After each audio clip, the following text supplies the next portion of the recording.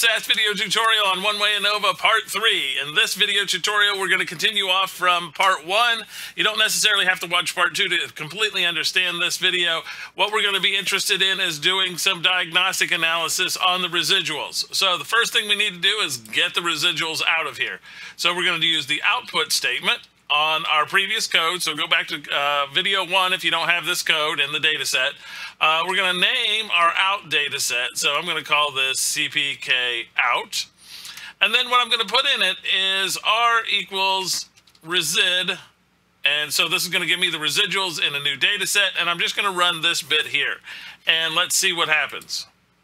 It says it ran. I can go over here. I can see that I now have CPK out over in my work directory. And that's what I want to get, as I want to get this information. And you notice I have the residuals over here. So now that I have these residuals, I can do all sorts of tests on them, just like I could with regression if you've watched the regression videos. And if you haven't, that's okay. Okay, so now what we're going to do is we're just going to do a quick proc univariate. And notice that everything's in green, which means I didn't close off this comment. So come over here, close off the comment, and now it should work. So I'm going to use proc univariate. Our data set now that we're going to use is our CPK out. Because this holds the data that we're interested in. So we're going to use proc uh, univariate, and then we needed to do var equals resid. And that should give us what we're interested in. We could do a histogram if we wanted to. Uh, let's see here, put histogram and then slash normal on this and give this a run and this will give us lots of information for looking at the some of the assumptions here. So we will run this and we'll see what happens and obviously I didn't run all of this so maybe there's a problem. So oh I didn't spell proc univariate right. So got to be sure you uh, spell things right. Univariate. Okay, so let's give this a go. Again, notice making mistakes is part of it. Now this gives us the tests uh, of normality on the residuals here. And if you notice here, so the Kolmogorov-Smirnov, it's less than 0.01, Cramer von Mises, Anderson-Darling. So it's not really good for these. Uh, so just keep that in mind as we're working through this. Um, so if I go down here and look at the picture, I can see, oh, here's the residuals. So there's something still going on in the data that I'm not aware of. And even though I did find some uh, differences, there's still other things that are causing differences that are probably embedded in the data. And that's why this is a good data set to look at because you can say, wait a minute, it looks like there's still in the residuals two subpopulations and it might be gender that's actually causing that. So, and that's why we don't get this uh, information here uh, to be normally distributed because if I look at the picture, it's not.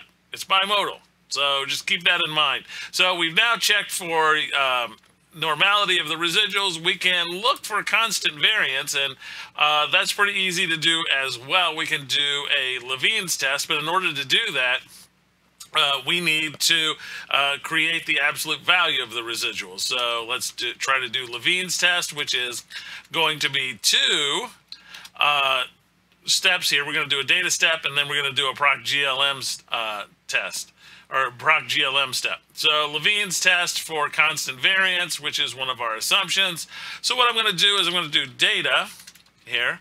Uh, I'm going to call this CPK out 2, and the set is going to be CPK out is our basic set.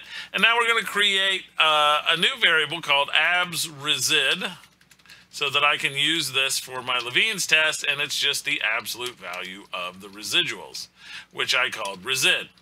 And we're going to run this, make sure that this runs okay.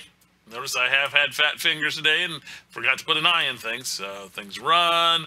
Come over here. I now have CPK out too. And yes, I do have the absolute value of the residuals. Notice that even where it's negative, I have, it's turned it to positive numbers. And now what I can do is I can run an ANOVA on this. And that's essentially what Levene's test is, is just running an ANOVA on the absolute value of the residuals. So let's do this. So we can do proc GLM. Data now is our CPK out 2. Okay, our class is still our treatment. And if we don't remember what we called that, that's treatment like up here.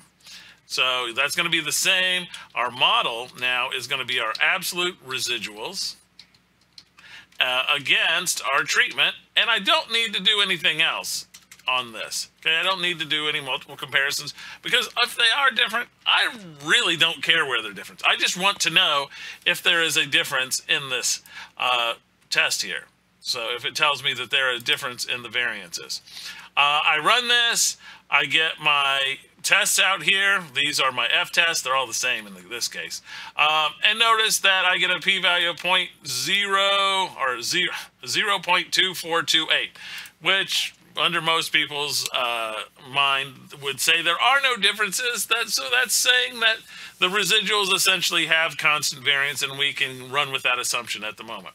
Okay, so this has given us the ability to check some assumptions uh, from our ANOVA. So our assumptions, remember, are you have independent observations, the uh, data is, or the data is independent.